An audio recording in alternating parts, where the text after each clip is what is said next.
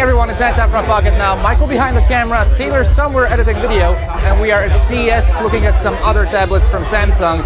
In this particular case, the Galaxy Tab 10.1. Let's take a closer look.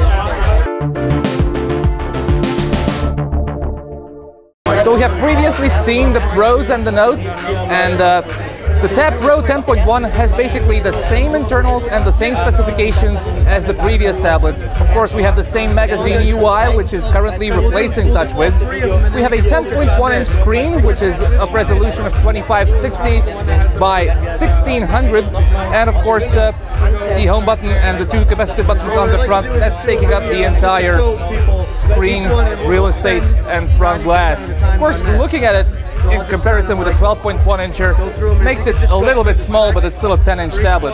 On the back we have the same faux leather backing with the stitching. Samsung is bringing that to the new model of uh, tablets. This is a tab and not a note and while we're at the back we're looking at the 8 megapixel camera with the LED flash and of course the uh, SIM card slot and since we talk about this this is the data connection enabled version. It runs on Snapdragon 800 processor quad core. If it would be the Wi-Fi only version, it would run on the Exynos 5 variant. Now, just taking a look real quick, it is very fluid, as you can see, both in portrait and in landscape, and we're really hoping that Samsung managed to fix a lot of the issues with lag, and we're trying to bug it down. This is apparently a uh, demo unit.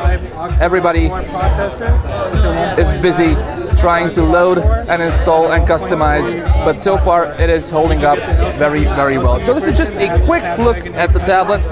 We will have more on this and on other Samsung products in the videos to come. Until then, I've been Anton, Michael behind the camera, and Taylor doing video editing. Thank you very much for watching.